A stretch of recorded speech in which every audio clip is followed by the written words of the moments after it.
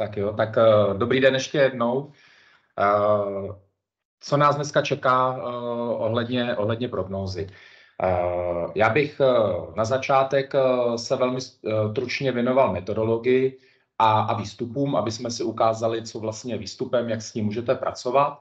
A záměrně jsem to zařadil, normálně to bývá na konci, zařadil jsem to tady na začátku, kdybyste všichni nemohli být až do konce a uh, poté uh, už bych rád uh, podrobněji probral vývoj v jednotlivých parametrech, uh, jak, jaký očekáváme, proč ho očekáváme, jaké jsou výsledky za celý kraj a jaké jsou hlavní regionální rozdíly.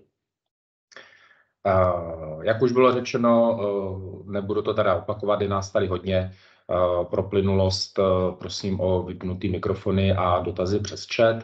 Eh, já za každým blokem tady tímhle nechám eh, prostor pro dotazy a diskuzi, eh, aby jsme ty dotazy mohli zodpovědět.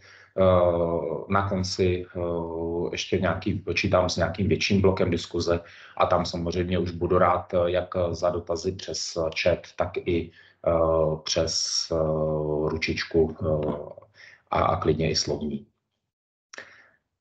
Tak, ještě než začneme, tak eh, chci říct, eh, že nás eh, velmi potěšilo, že jsme byli osloveni, aby jsme tu prognózu zpracovali, protože s kolegy jsme za posledních pět let pro Českou republiku zpracovali 153 studií, z toho třetina byla ve středočeském kraji, dohromady to bylo nějakých 330 unikátních obcí, ve kterých žije 41% obyvatel kraje, takže vlastně nám to přišlo moc hezké, i nějaké navázání do, do širšího kontextu.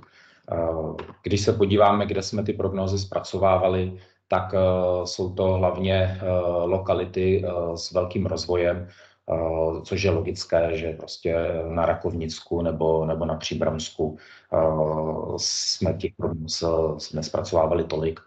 A i tady v, mezi vámi vidím některá známá jména a i tváře, takže takže vás zdravím eh, alespoň takhle na dálku. Tak a pojďme teda eh, k prognoze pro středočeský kraj. A důležité bylo, že jsme nechtěli prognózu za celý kraj, jako jenom, jenom za celý kraj, ale aby byla i rozdělená do nějakých logických celků, Bohužel na prostor zpracovávat pro 1100 obcí asi v takhle velkém rozsahu není možné. Takže jsme, z, nebo zadavatel zvolil, že budeme respektovat ORP s tím, že ORP Praha Východ Černošice jsme rozdělili ještě na tři skupiny. Jesenice, a Míše, eh, Jese, pardon, Jesenice a Jílový, Černošice a Míšek a Hostivice a Rostoky. Takže kromě tady těchto z těch eh, tří uh, lokalit uh, to území je rozděleno podle ORPček. A uh, jak jsme to počítali?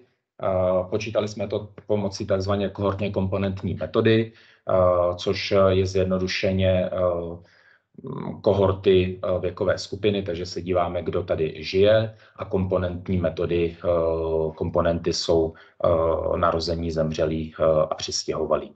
A vlastně díváme se, jak se každý rok to vyvíjí. Jako podklad nám sloužily statistiky z Českého statistického úřadu a sčítání obyvatel to, ty statistiky nám sloužily hlavně pro věkovou strukturu a pochopení, co se v daném území eh, děje, eh, nějakých minulých eh, trendů. Velmi důležitý podklad a za to bych moc rád poděkoval kolegům na kraji, že nám pomohli získat od orgánu územního plánování podklady k výstavbě, kdy jsme měli, dostali jsme vlastně přehled nějakých eh, velkých developerských projektů, eh, co se na daném území děje. Zároveň jsme udělali podrobnou analýzu územních plánů ve vybraných obcích, tam prostě, kde se v minulosti hodně stavilo, aby jsme se podívali, co se tam děje a jestli ještě se bude dál stavět. Započí, řešili jsme a snažili jsme se dát i do vývoje zahrnout územně analytické podklady o tom, kde se má stavět nová dálnice, D3, železnice, nějaké propojky a podobně.